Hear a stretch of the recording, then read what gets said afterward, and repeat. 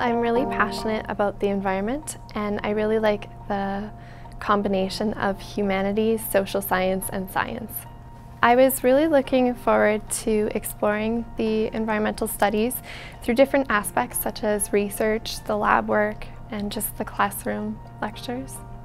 I think the difference with this program is the BA BSc component as well as the co-op option.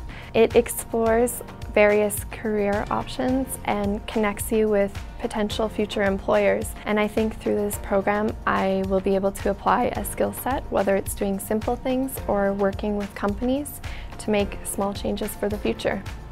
I needed to choose an environmental program, one that would um, cater to my passion most.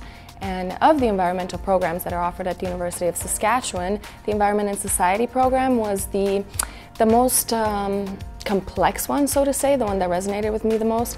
In being interdisciplinary and bringing together both arts and science, I thought that it would give me an edge in the work field uh, after graduation.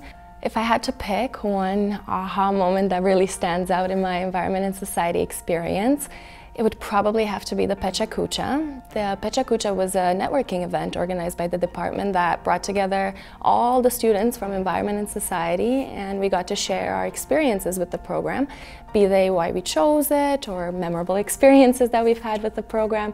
And the really great thing about it was that it really gave you a sense of community and it let you know that you're not alone in studying what you're studying and doing what you do. There's really a whole community out there and it's like a big family that can support one another and be there for each other. I feel that by taking environment and society, I've gained a very specific and very unique set of skills and quite a unique perspective that will give me just that little bit of an edge on tackling the environmental problems that face us today. And I also feel as though the specialized training, such as environmental impact assessment or geomatics, will give me those extra skills that I need in order to make the planet a better place for everybody.